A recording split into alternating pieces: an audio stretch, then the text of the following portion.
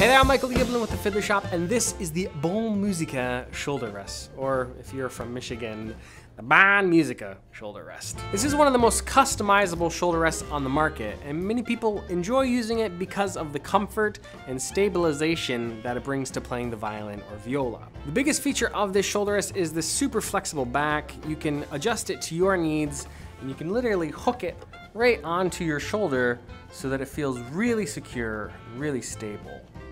You can adjust the slope of the shoulder rest here, and it also has just some of the longest feet on a shoulder rest that I've ever seen. For that reason, it's very popular with violinists with very tall necks, and also with violinists who have had injuries and have found that they don't have as much tension in their playing after switching to the Bon Musica. Some things to consider is that it does take up a considerable amount of real estate in your case, and there is a lot of metal on here that could scratch your instrument if you're not careful.